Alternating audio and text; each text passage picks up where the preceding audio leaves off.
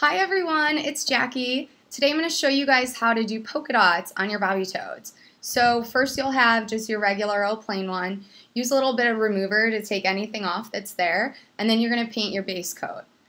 I use cotton candy pink, but I just recommend any color that's a little bit darker so that you can see the contrast on the polka dots. Um, I also recommend doing this over some sort of some sort of anything. Um, so there's a few ways that you can do the polka dots. Um, the first way I'm going to show you is actually with a Q-tip. You just take the fuzz off and then you'll have an end like this. Um, what I like to do also is to take um, a little bit and put it on some tinfoil and it just makes it easier to grab that way.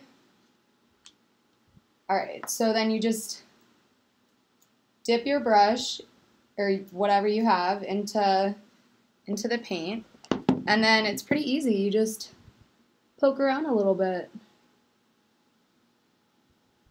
This is also how you can make other designs with it too. Um, do a smiley face, some stars, pretty much anything.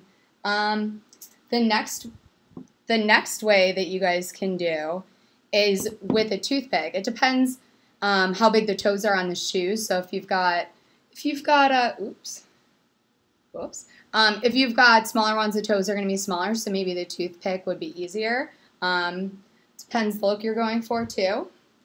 So let's use a different color with this one. Again, you're just going to like put it on some tin foil. It's usually the easiest.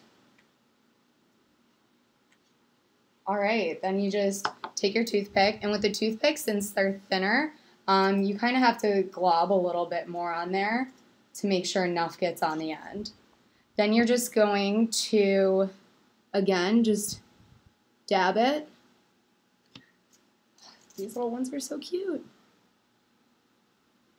You know, you could do as many polka dots as you want. And again, decorate them however you want. They're your shoes. Um, just wanted to show you guys a, some quick ways that you can do this. Um, it's pretty easy, and anyone anyone can do it at home. Um, all right, well, send me your own pictures, your own videos of you guys doing this, and maybe we'll even have a prize for that.